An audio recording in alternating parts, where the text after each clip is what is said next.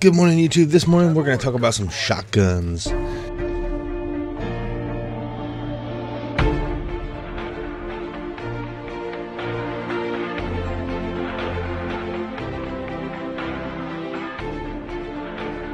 Now the gameplay here is uh, what's the name of this map? Freight, I think. Freight. It's the container map, and I'm using the FP6, and I really, really like this shotgun. Shotguns are they're a viable option in this game.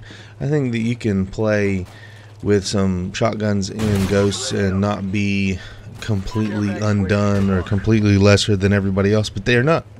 They're not really as powerful as previous as well as Black Ops 2.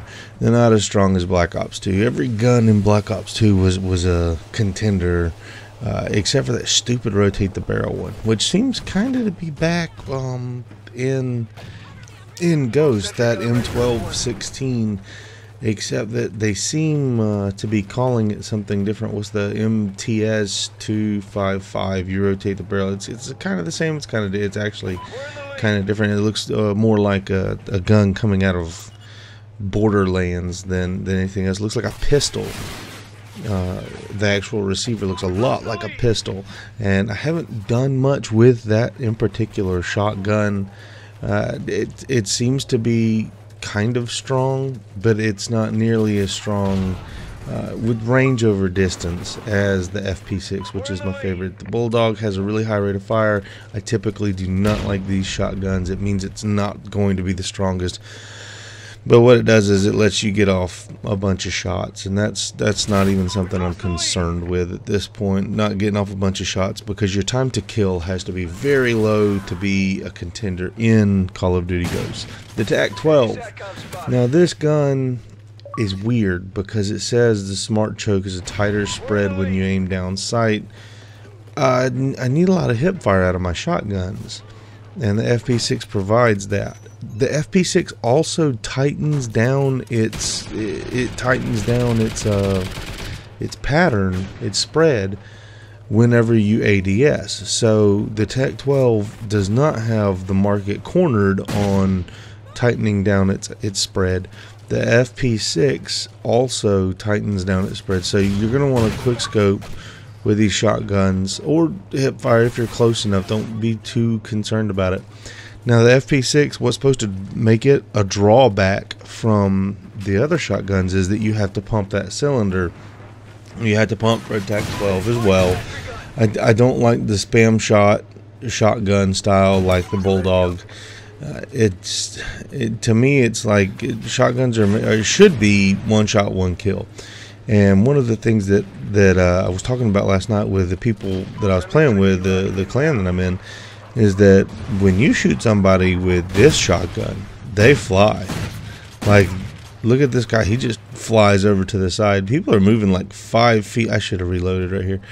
People are moving like five feet whenever you're blasting them. It's in the side, and it's really good to see that they at least got the animation right for whenever somebody gets smashed with a shotgun. Doing doing somebody in with a shotgun is is a, a dirty damage uh, a, a, dirty deed and does a lot of damage to them.